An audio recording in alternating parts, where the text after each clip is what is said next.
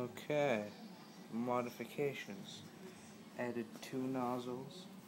Note that all the parts on this, copper fittings, etc., had to all be modified or trimmed to fit this because the uh, elbows, for example, are the short radius elbows, but I still had to trim the ends where the um, pipe goes in so that it can all fit because it's only about two and a half inches about.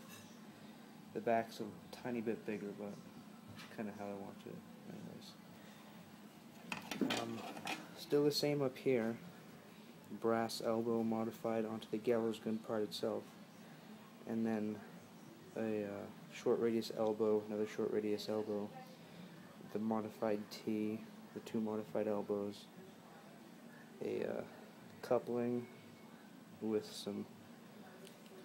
It was a flared part for a uh, um, valve thing of some type, but with the AV ends, I was able to just um, take out the brass flared part, and that seemed to work pretty well.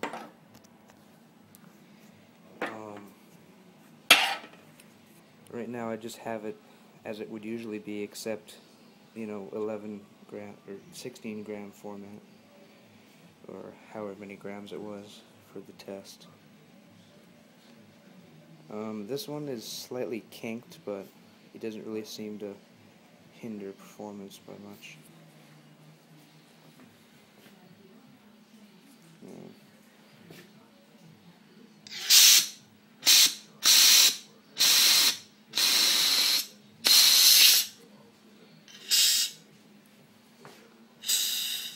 Yes, that's what it looks like with the two.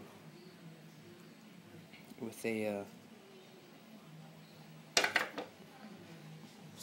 16 gram, I'm pretty sure.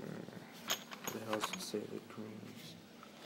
Uh, uh, oh, it doesn't say. Oh, wait, it does. These are upside down. Caution, blah, do not mutilate or heat. Well, just say it's 16 gram. And again, it frosts over, which is why the pipes will be covered in insulation and the top will be bondoed because of the way it sticks out a little bit where the um, trigger is, is. Then this bolt is going to have a large washer or a piece of aluminum to keep it down after it's been insulated and this bolt goes through a hole right here and because it won't have this part it'll just have a part that screws into the back where this part will be um, trimmed down like I did for the front. And uh, yeah, no french fries to move in order to test it this time, but with an 88 gram CO2 cartridge it should be able to move about as many french fries as last time, if not more.